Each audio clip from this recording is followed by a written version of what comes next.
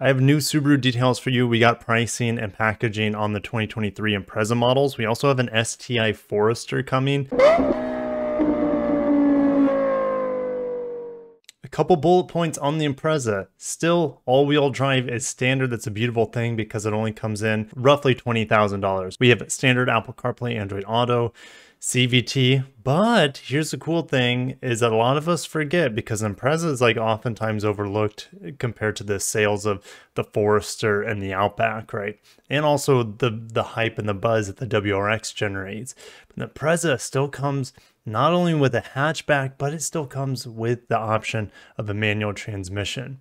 So the, the only engine option that we have is a two liter Boxer four cylinder, 152 horsepower, 145 pound feet of torque. Now, of course, you can get the Lineartronic CVT, big whoop. I, of course, that's going to be the major seller, but there's nothing fun or exciting about it. It just gets the job done.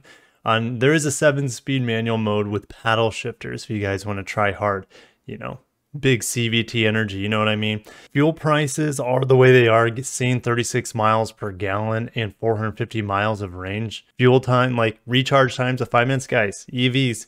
EVs are far from where they need to be for the average person. That range, good luck seeing that on EV. Why would I bring up EVs? Because Ioniq 6 is supposed to come out tomorrow. Motor Trend leaked it, and I have a whole video done on the leak, but Motor Trend pulled that article, so I can't really I don't feel like if I want to be invited to Ioniq events, I don't feel like I should be putting out pre-embargo materials. I don't I haven't signed that those materials away. I'm not under embargo, so I could have that video. Anyways, I can't share too much. I don't want to get myself on the blacklist. Let's just talk about the overall pricing because we're just going down to the bottom. Let's get let's get straight into the nitty-gritty here.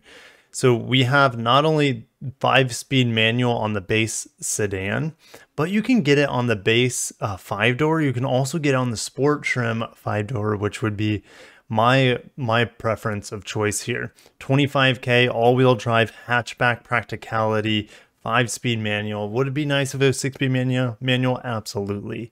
Uh, would it's not a performance car, but at least we got save the manuals here. Would it be nice if it had a small turbo, 1.8 liter turbo, like we see on some vehicles in Japan and other parts of the world? Absolutely, but it is what it is. This is what keeps the price down, right? Interestingly, if we look at the codes here, Sport gets 21. 21 is a standard sport level trim, but it doesn't get EyeSight because EyeSight is only available with the automatic CVT. Now on the CVT Sport trim, it also gets 23, which gives you power moonroof, blind spot detection, Harman Kardon, etc. Now that just means it's an option on the CVT, but you don't have that sunroof at all on the sport model 5-speed manual it looks like. that is quite a bit of a bummer if you ask me. So if we head to car figures and break down the sales of the Impreza so far this year, this is sedan and hatchback combined, right? 3,000 units in January, went up to 35 unit, 3,500 units in February, and it's just been free fall. So Subaru is probably allocating those chips to more profitable models in the lineup, the Outback, the Forester of name. Um, if we go down to yearly Impreza sales in the United States, yikes, hit a record in 2017. And now we're at the lowest point since 2011. Will it make a comeback? I just see no hope in sight for them to make a comeback. If we average out the sales, let's say 2200 times 12 here, that gets us to 26,000 vehicles we're estimating to be sold here in the United States, which could be the lowest year in recorded history. 26,000 units is lower than in 2005 at 33. It's lower in 2011 at 28. So it'll be interesting to see what the Impreza clocks in at the end of the year. I'm probably not going to relook it up. It's they're one of the lowest volume sellers in their lineup, which it shouldn't be. This vehicle should be selling a ton of vehicles. It's in the same segment, guys, as the Corolla, as the Civic, and it has all-wheel drive. There's no reason this vehicle shouldn't be selling super, super high volumes. Like Honda has no problem selling over 250,000 Civics. Mazda should be a little bit more of a direct competitor here because this vehicle, uh, well, this company is very small like Subaru and they're selling more. They're expected to sell more Mazda 3s this year than the Impreza, which the Mazda 3 is a better vehicle.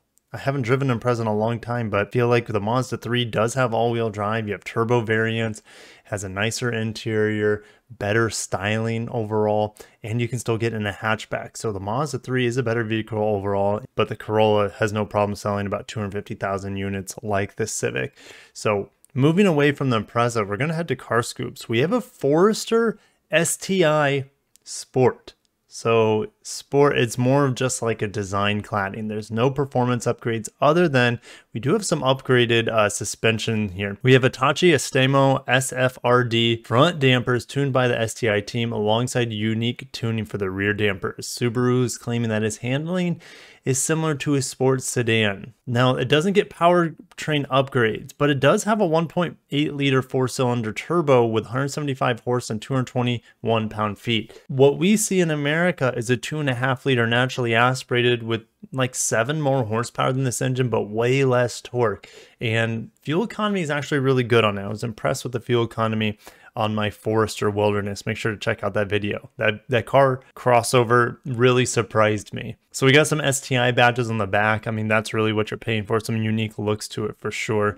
STI badge on the front. We have this Bordeaux trimmed Nappa leather on the seats, a red shifter here, of course, because this is the more STI uh, focused model. But we're not going to see this here stateside. Like I mentioned, the Wilderness Edition is kind of like the America-fied version of our custom Forester. While Japan doesn't have that same sort of off-roading heritage or off-roading focus in the market right now, their market's always going to be a little bit more about sportiness, tunability, and just overall fun to drive on roads. Where in America, there's a lot more land off road than on road. So I'm going to end it there. Impreza sales aren't great, but it's still an affordable all-wheel drive entry-level vehicle with a five-speed manual still available. If you enjoyed today's video, hit the like button. Also, if you haven't watched my Ascent refresh, especially the Onyx edition, make sure to check that out. Also, don't forget to stop back in about a week or so when I'm done reviewing the new WRX. Can't wait to share you my impressions with the six-speed manual, the new engine, etc., etc., etc. I'm going to end there. Thank you guys so much for watching. Take care of yourselves and peace out.